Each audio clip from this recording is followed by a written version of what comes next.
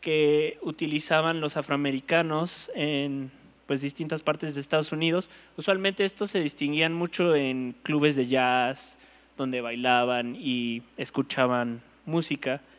Eh, curiosamente, pues después los van... Lo curioso de esta vestimenta es que las minorías eran las que los usaban en Estados Unidos. Primero los afroamericanos, luego fueron este, los italianos y después fueron los migrantes mexicanos que justo este, el término pachuco, que pues ahora sí que si quieren considerar como primer este, grupo contracultural o el que abrió el camino para todo lo demás que se vendría, fueron los pachucos, que usualmente estaban este, vistos como delincuentes o líderes de pandillas y etcétera, etcétera, cuando en realidad toda la cultura pachuca creo que, pues vaya, es como decir que un punk es un delincuente, ¿no? Pues hay punks buenos y hay punks malos.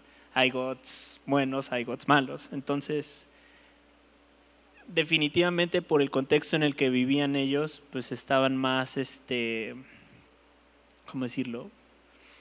Pues eran más capaces de llevar ese estilo de vida. Sin embargo, había otros que simplemente querían escuchar jazz, bailar danzón y vestirse de, de esta manera. Ah, claro, ¿tienes una duda? Sí, cuéntame. ¿Quieres que te pase un micrófono? Es que no te escucho muy bien.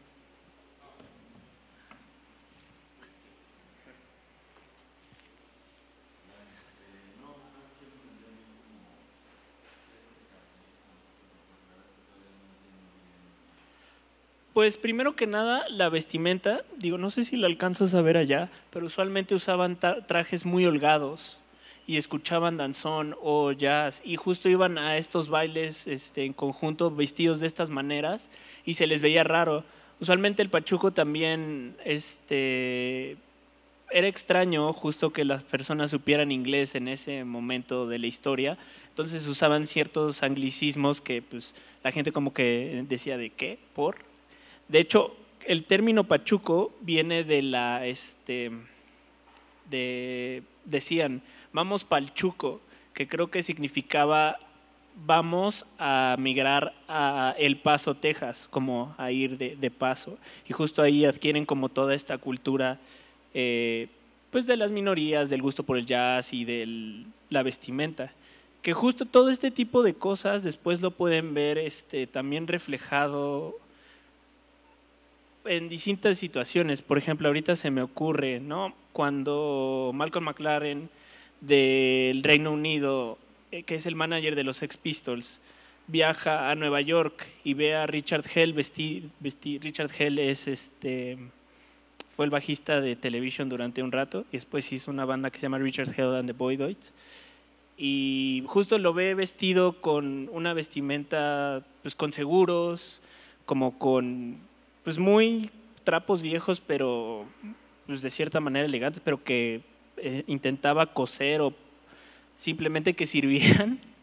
Y él ve, esa vestimenta y se lo lleva a Inglaterra y ahí empieza como el boom a través de su tienda sex que creo que inauguró y de ahí como que empieza un boom porque llegan los Sex Pistols, pues justo como que existe cierta conversación entre que odian a Pink Floyd. Bueno, eso es otra cosa. Simplemente creo que la migración de vestimentas, de música de un país a otro es muy importante y creo que sobre todo en México se dio bastante durante esta época y después también los verás con los punks en los 80.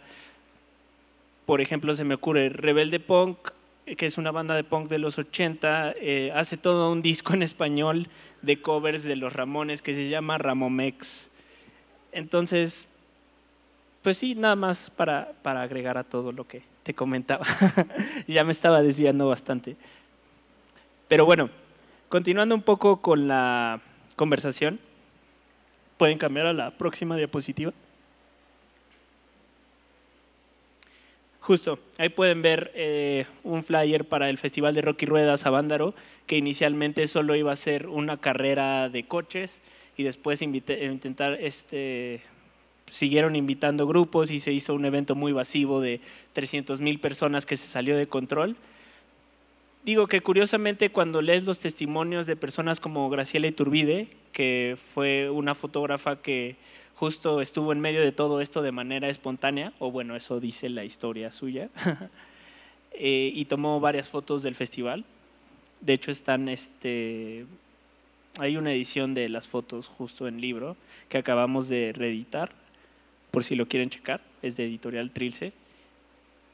Y digo, como tal, ellos lo único que querían era escuchar rock, fumar marihuana, que es como lo, lo dice tal cual Graciela Iturbide, y pasarla bien, ¿no? Justo el gobierno no ve bien pues lo que está sucediendo en el 71 en Avándaro por la cantidad de personas que eran y el mismo Luis Echeverría pues niega como los, lo acontecido.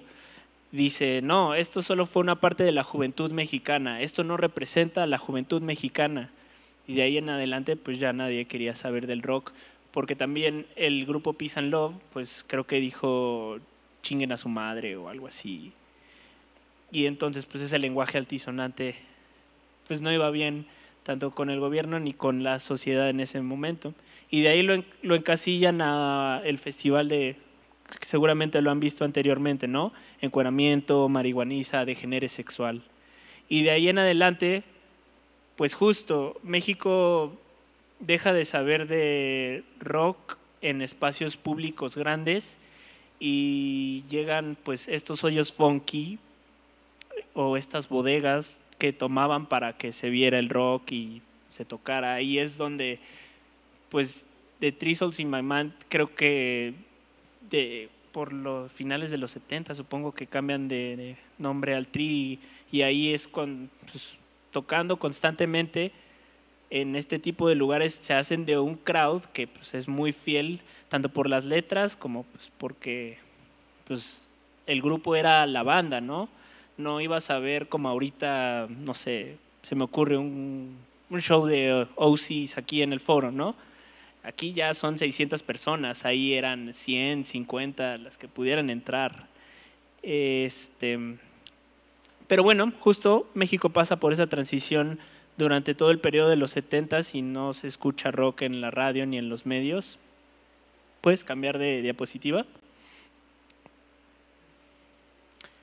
Y bueno, aquí son unas este, fotos que de cierta manera representan distintas, distintos grupos contraculturales.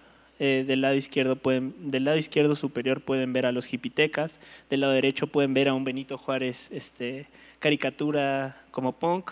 Los Gods, que creo que también son una, llamémosle, tribu urbana muy importante dentro de la Ciudad de México y en México, y los metaleros que definitivamente pues son parte de la historia y creo que ahí hay un cruce muy interesante, al menos hoy en día, entre el metal y el punk, con bandas como, por se me ocurre algo, Anapura, Cardiel, que son grupos que también pues, son amigos nuestros y nos gusta ver tanto en el foro como cosas de hipnosis. Ahora, pues justo al ver las fotos te preguntas, pues cómo es que existe un lugar para cada una de estas este, de estos grupos contraculturales. La realidad es que conforme han pasado los años se han perdido los prejuicios, sobre todo creo que con generaciones como las mías y las de ustedes, me refiero a jóvenes entre 20 y 30 años, donde ya no es tan importante el que te guste solo un género y ser fiel a un solo género, ¿no? Creo que se ha abierto lo suficiente la curiosidad musical de jugar con distintos géneros sin que sea mal visto. Y al fin de cuentas, creo que, como les decía, ¿no? Cada este, grupo contracultural como tal busca, pues busca una verdad o una forma de vida que encaje hacia lo que ellos escuchan y quieren ver que no forzosamente va con lo establecido, sin embargo, pues a veces vive dentro de ello, ¿no? Creo que algo que a mí me parece muy curioso es como en algún momento, pues justo, ¿no? El, rock era prohibido, el punk era mal visto y tener pelo largo era como una causa por la cual te golpeaban. Y ahora puedes escuchar en una canción de Café Tacuba a este, cómo habla sobre el grupo Atóxico, que para quienes no sepan, el grupo Atóxico pues era un grupo de hardcore punk en los 80, que pues definitivamente no era un grupo que el público de Café Tacuba fuera a ver, se los aseguro. Este, entonces me parece muy curioso cómo pues distintas cosas o distintos este, pues, sonidos también, ¿no? Eh, han sido adaptados por la cultura popular como tal. Eh, también, por ejemplo, se me ocurre el ejemplo de mucho de Sais. Sais fue un grupo este, muy importante a principios de los 80. Es considerado de los primeros grupos post-punk en México, ¿no? Y cuando estaba buscando entrevistas sobre el grupo y qué, qué había sucedido, etcétera, etcétera, llegué a leer un comentario de los, de un, del bajista de los caifanes, pues justo hablando sobre, no, es que cuando los vi por primera vez, a mí me voló la mente y me quiso hacer, pues tocar y hacer esta banda caifanes, que justo creo que tenemos esta visión de los fans de caifanes como muy rock en tu idioma, pero si conocieran los gustos de el bajista de Caifanes y lo que escuchaban, no estoy seguro que les gustaría lo mismo.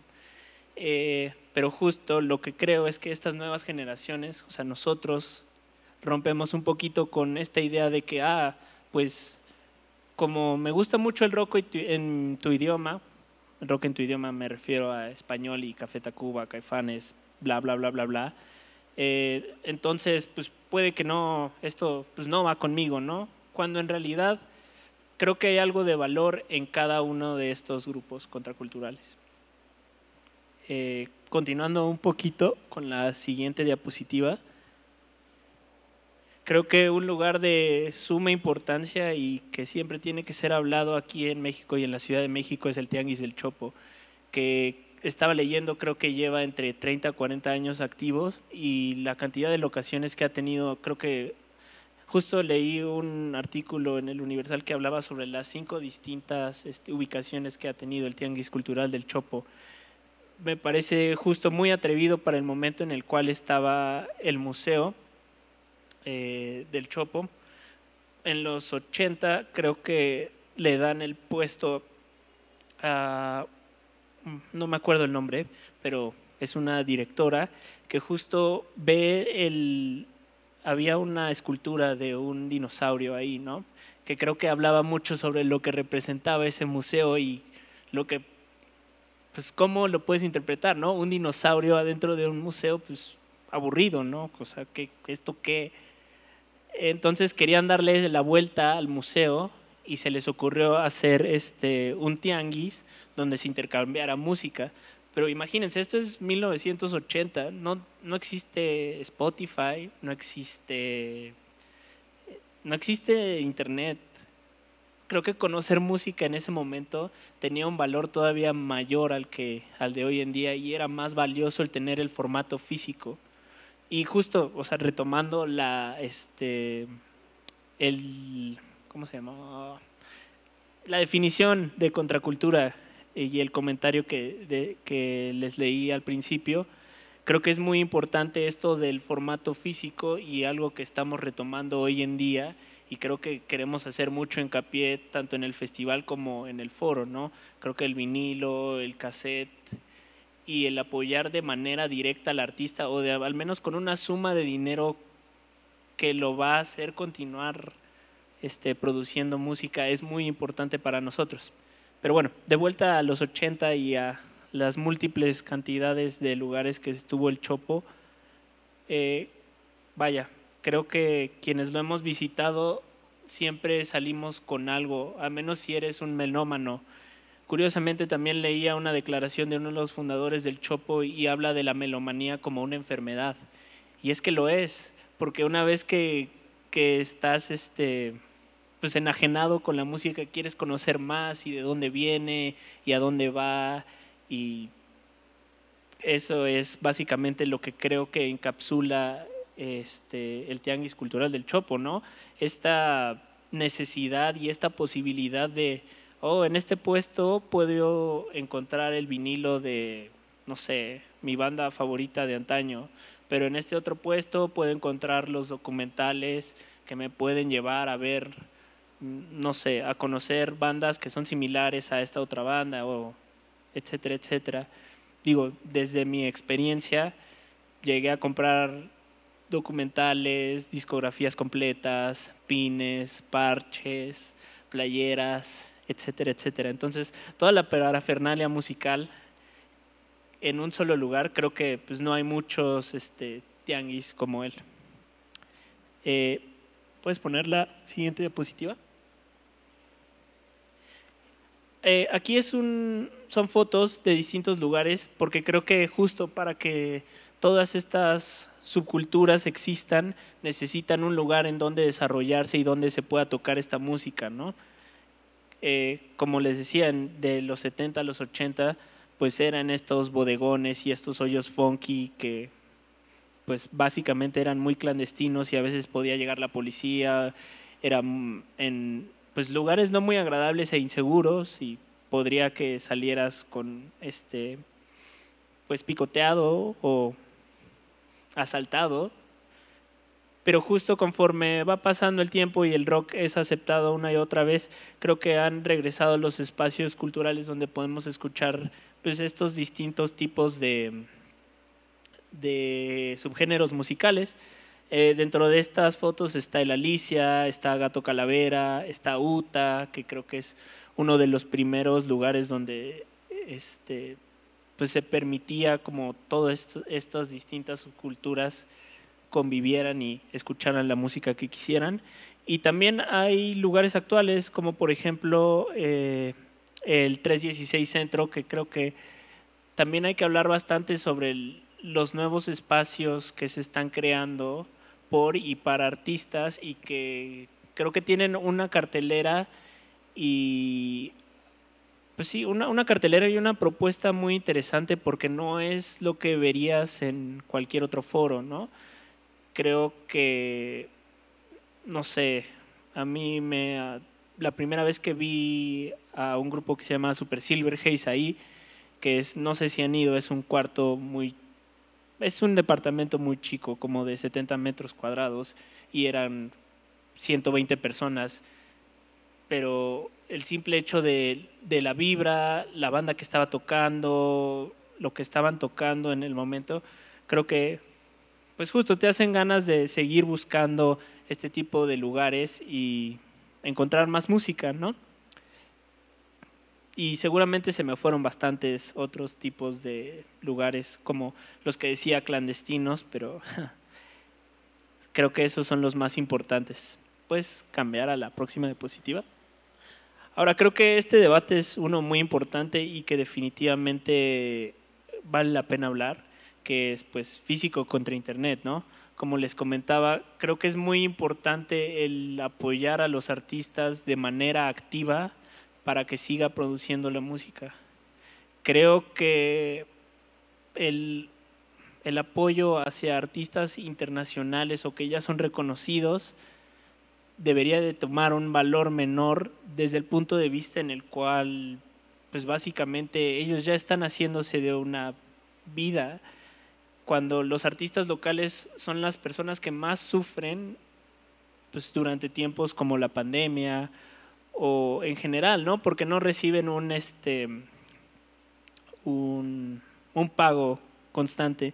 Entonces, por eso creo que los formatos son muy importantes. Eh, ¿Por qué no en vez de utilizar Spotify o utilizar Apple Music o Deezer, utilizamos SoundCloud o Bandcamp? Que pues básicamente ahí puedes encontrar la discografía de tus artistas independientes favoritos y seguirlos está ayudando para producir o comprando su vinilo o comprando su cassette. Sobre todo hoy en día creo que es una forma muy fácil y simbólica de ayudar a los artistas a hacer dinero. Digo, creo que el cassette como tal no tiene una calidad en cuanto al audio que escuchas, pero al menos tiene esa simbología de, ah, te estoy ayudando y tengo tu formato físico y te voy a seguir apoyando. Simplemente creo que era un, este, algo importante a comentar. ¿Puedes cambiar a la próxima diapositiva? Ah, Y justo, ¿no? Creo que invitar a las personas a escuchar nuevos sonidos y cómo se pueden llegar a parecer los grupos de antaño a los nuevos, ¿no? Por ejemplo, alguien que le gusta Rodrigo González, Rodrigo González, yo encantado le, le pondría Belafonte Sensacional, le pondría la canción, creo que se llama Valedor, que trae que viene en su primer álbum, pero creo que justo Belafonte tiene una una forma muy particular de utilizar las palabras, los géneros, el slang de la Ciudad de México y definitivamente a esa generación que le gustaba Rodrigo González puede encontrar algo pues, importante. Aparte que Belafonte es una, bueno, el grupo Belafonte es sensacional, también creo que tiene muy consciente todo lo que ha venido antes de ellos. Tienen una rola que se llama como Keroa con The Road, que habla justo sobre pues, este conocimiento ¿no? de Belafonte sobre la literatura y este pasado que ahora, pues no sé, tal vez es muy común para nosotros, pero en algún momento no era bien visto el vivir esta vida, pues no sé cómo decirlo, libertina, supongo. Eh, luego pongo eh, la imagen de Sais, el grupo que les comentaba, que es uno de los primeros en pues, con ser considerados como tocar post-punk. Y por qué no ponerle Diles que no me maten, ¿no? La rola de figuras al chocar, que creo que tiene ahí unos sintetizadores muy interesantes y que, vaya, tiene una cantidad de influencias enormes.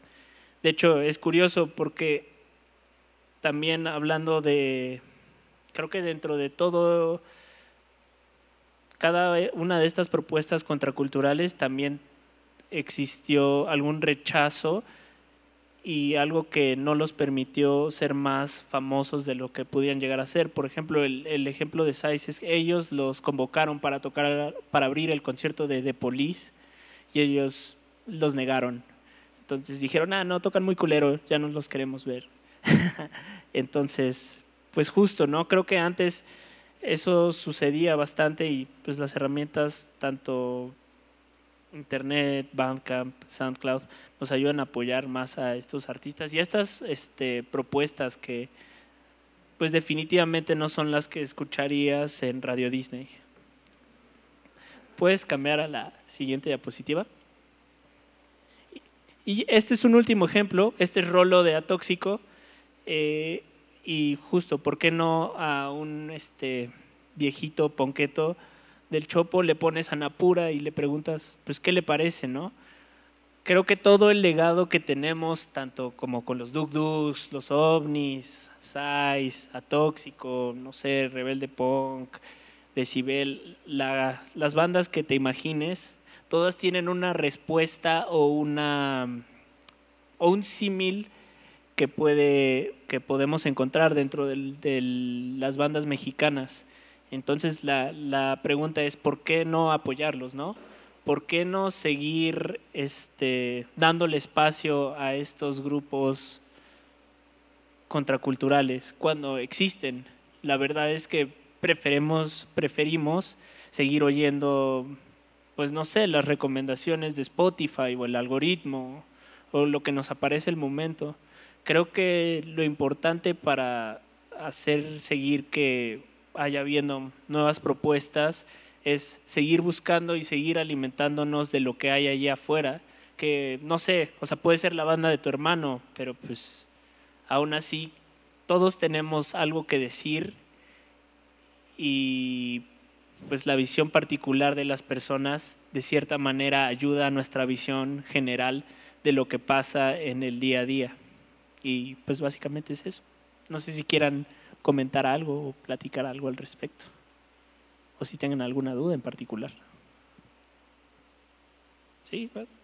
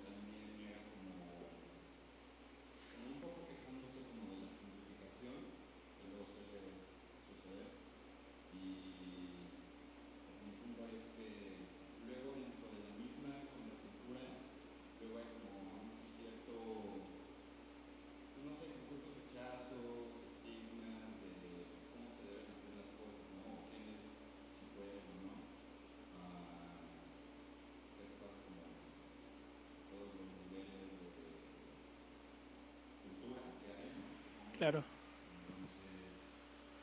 Pues es que, o sea, creo, yo creo que siempre va a haber gente así, ¿no? O sea, siempre hay alguien que no está de acuerdo a lo que estás haciendo, particularmente si eres un artista, cómo lo haces. Creo que definitivamente, no sé, o sea, por decirte el ejemplo de, no sé, Cardiel puede llegar a sonar a otra banda, pero creo que lo que importa no es tanto qué tan similar puede llegar a ser el sonido de alguien o lo que estás haciendo a, a lo que está haciendo esta otra persona, sino el hecho de que tú le des como esta, mm, pues encauzarlo a, hacerlo y a que tenga tu propia identidad, que creo que puede llegar a suceder. Y creo que conforme más grandes se van haciendo las cosas y más este, exitosas por, no sé, hablando del festival, ¿no? En, en particular, pues es normal que más gente esté interesada. O sea, el hecho de que algo sea masivo tampoco significa que sea malo porque algo masivo bien hecho, pues es justo el, este, pues creo que lo que buscamos, pero creo que sí es importante el hablarle al público indicado y el público indicado es el que conecta, conecta con lo que está sucediendo allá arriba. Y no importa nada más, creo que no importa nada más, no importa cómo te vistes, no importa que, no sé, a veces te guste escuchar una rola de Taylor Swift, al fin de cuentas creo que una persona que escucha una rola de Taylor Swift no va a conectar con Monolord. O sea, sí existe como una línea, pero justo creo que lo que a mí más me gusta ver es pues, mi generación y las generaciones abajo de nosotros que están perdiendo ese estigma. Pero creo que también entiendo eh, de dónde vienen estas otras personas, porque como, como lo platiqué, pues antes esto no era bien visto. Antes esto sí era algo por lo cual ponerte una playera, pues, te podían golpear o estabas en peligro. Entonces, pues digo, creo que es resentimiento que de toda esta historia que comenté, pero aún así, o sea, vaya, estaría bueno tener una conversación con esa persona enojada del, pues, o sea, y que tiene, ¿no? O sea, esto eventualmente, si lo que tú haces es bueno, pues eventualmente va a llegar a las masas. Y creo que eso es lo, lo más importante, particularmente en la música, ¿no? El que tú estés este, convencido de lo que estás haciendo y no buscar como el pues, ser masivo. Entonces, pues sí, esa sería mi respuesta. O sea, de hecho me, me acordó, ¿no? El, estaba leyendo una entrevista con uno de los miembros de, de Atóxico, que es esta banda punk que les comento, y le preguntaban, no, pues ustedes ya son muy grandes, ¿por qué lo siguen haciendo? ¿O, o qué, qué, o sea, están ganando mucho dinero de esto? Y él simplemente respondía, pues no, la verdad, a mí lo que me gusta es las conexiones que hago en el día a día, que puedo viajar y que puedo tocar, que al fin de cuentas, pues es un outlet para pues, liberar ideas, liberar energía. No sé, así es como yo lo veo. no sé si tengan algún otro comentario o quieran platicar algo al respecto. ¿No? Increíble. Pues gracias. Muchas gracias.